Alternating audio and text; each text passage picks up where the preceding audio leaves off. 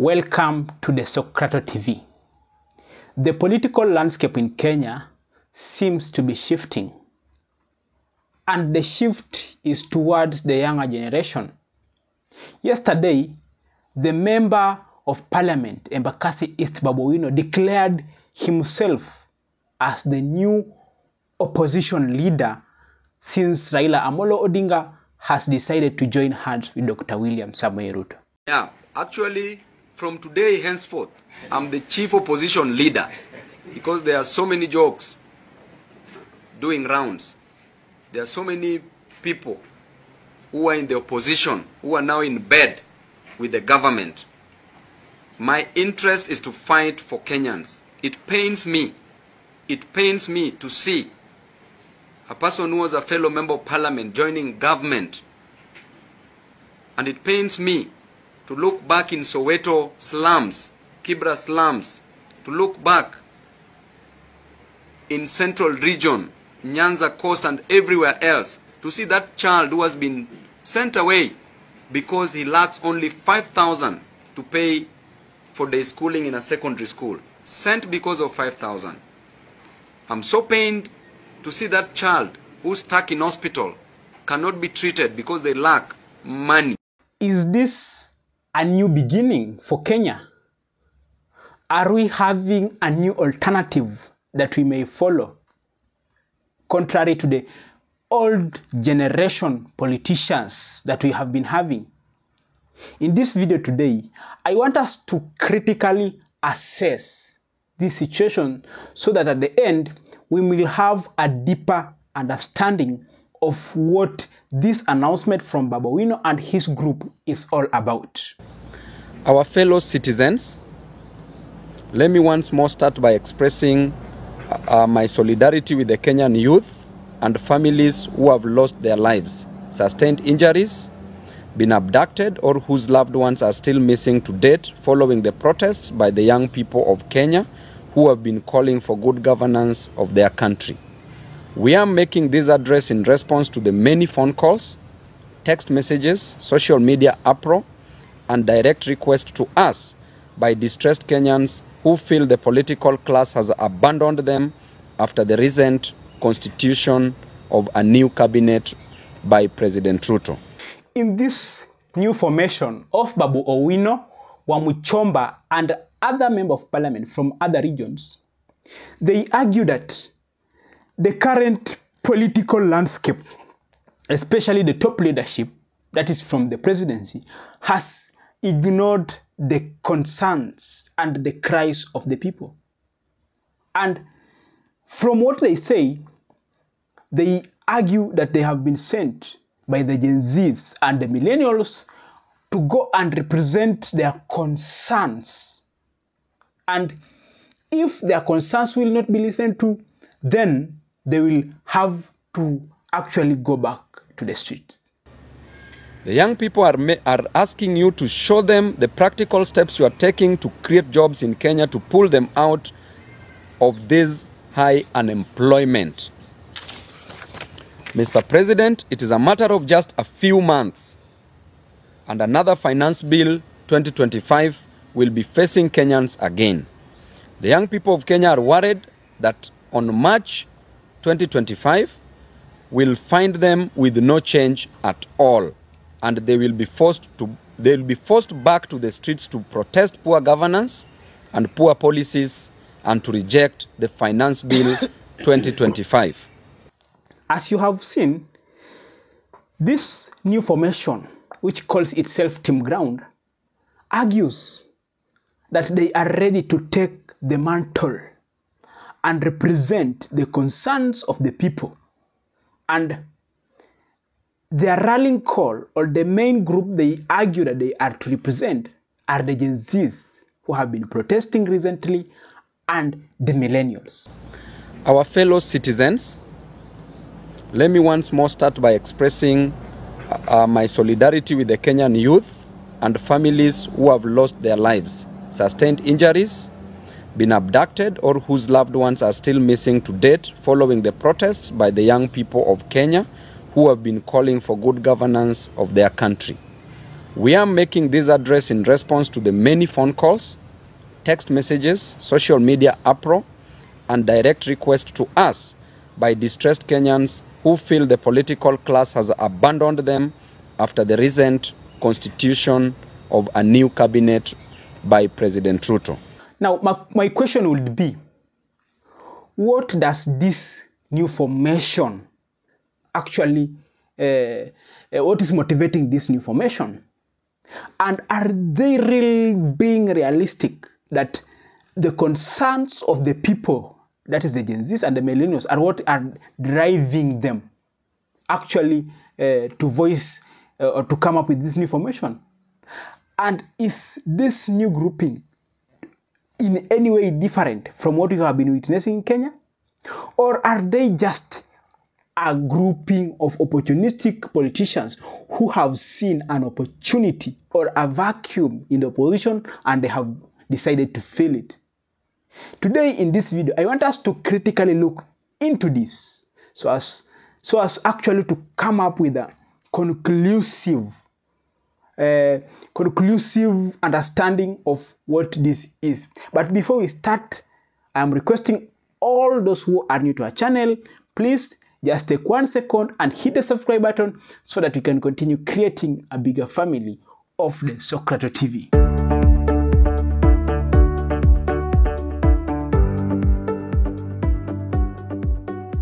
First of all, I would like us to start with looking at the opposition.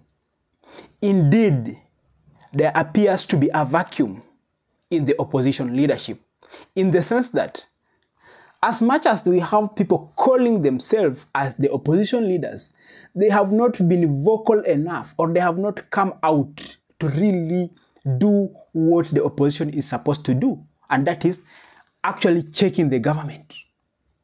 Raila Amolo Odinga is neither, you know, is, is how do I put it even? I'm very confused. He says he's in opposition, he says he's not in opposition. Kalonzo Musyoka, despite being in opposition, he does not show that energy, that charisma to actually agitate the issues of or concerns of Kenyans as an opposition leader would do. For a person like uh, Eugene Wamalwa is also there, but not very vocal enough. Martha Karua, his influence is not, not that much, maybe within the region of Mount Kenya. So you can clearly see that there's a vacuum. And this leadership that is now being led by Babu Owino and Wamuchomba seems like they have seen as an opportunity to take advantage of it, like any other politician do, so as to fill that vacuum. You know, in leadership, there is no possibility of a vacuum. And any vacuum that may appear uh, or may want to create itself will always be filled. So, will Babu Owino and Wamuchomba really uh, fill this vacuum?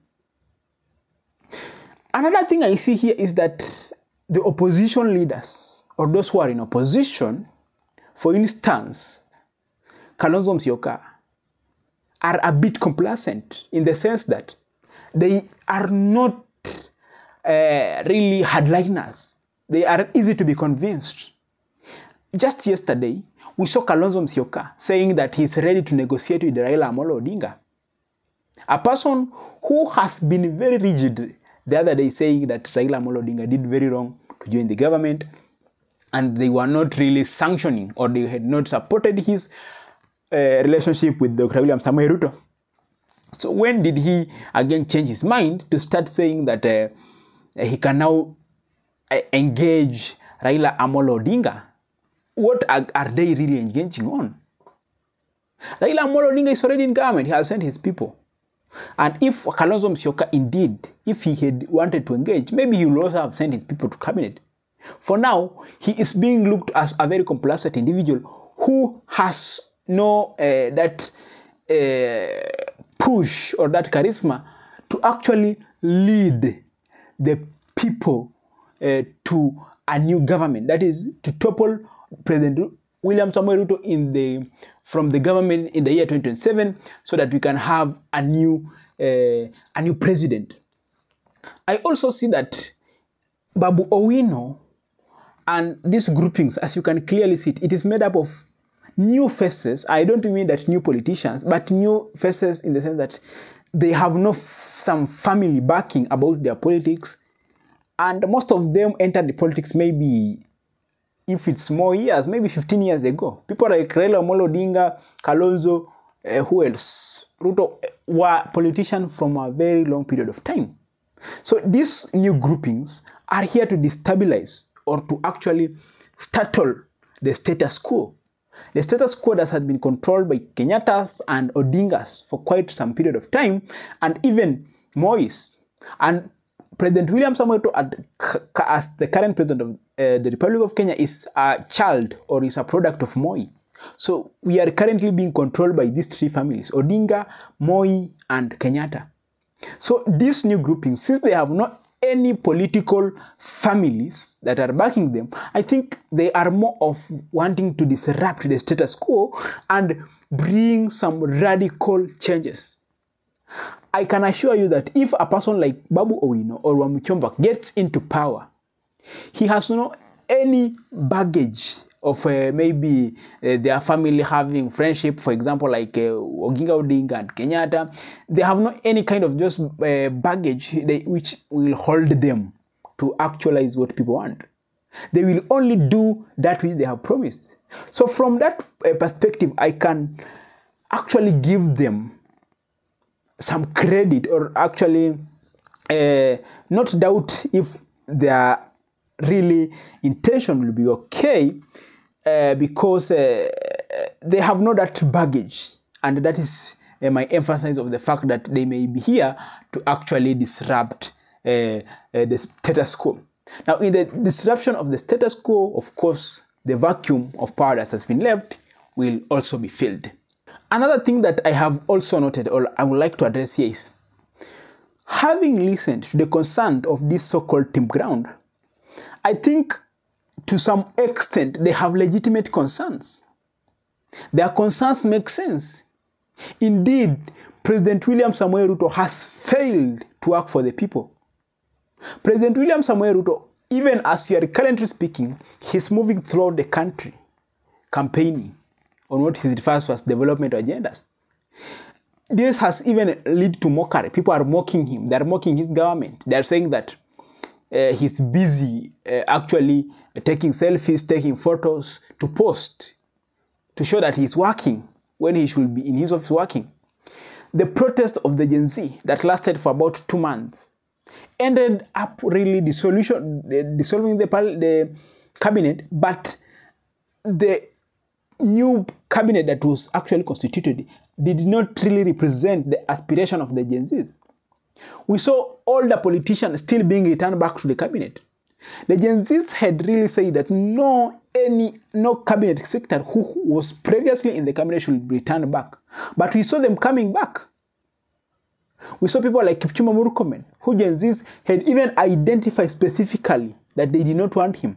In fact, it was uh, actually uh, like a slap in the face of the Gen Zs when he was put in the Ministry of Youths and Sports, the ministry where the Gen Zs are. So, from that perspective, indeed, you can say that they have that concern, and their concern of saying that the current government is not working for the people is valid. But the question I would like to ask how sure are we that they will not be the same as uh, the previous regime have been? How sure are they we that they will not be like Dr. William Samoei Ruto? I think that is where we need to concentrate our effort we need not just to dismiss them or embrace them, but critically assess if these in, are indeed the people who will be representing our concerns as Kenyans. Now, my question will be this. From your own understanding, from how you've been seeing the political landscape in Kenya, from how you've been observing people like Babu Owino, people like Wamuchomba, people like uh, Ledama Olekina because he's also part of that, uh, people uh, like uh, we have Muhwana, among others. Do you think that these people can actually uh, live up to the aspiration of Kenyans? Do you think that these people are really accountable leaders? I need us to be very intentional and actually realistic here.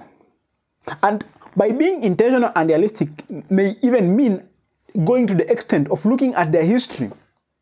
How have these people been working? How has Babu Owino been working in Embakasi East, where he's a member of parliament? How has been uh, how has uh, Gathoni Wamuchomba been working? What are their ideals? What do they believe in? What bills have they passed in parliament? What bills have they opposed? What is their history, their political history? What are the other things that they have done in the past which may also affect our, actually our decisions in either selecting them or not?